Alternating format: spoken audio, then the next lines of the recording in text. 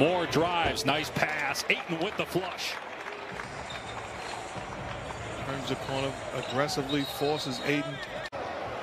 Moore drives. Nice pass. Ayton with the flush. Turns the corner aggressively, forces Ayton. As a team, Toronto struggling so far this year, 9 and 12. And remember, they're they're not even playing in Toronto. They're in Tampa, only playing his 43rd game after missing half of last year. And then, now, he's only missed one game this year. They're playing in more minutes. He only missed one game this year, and it's because of an inconclusive COVID test. Sports Center SVP coming up next. Inching closer to Super Bowl 55 between the Bucs and Chiefs.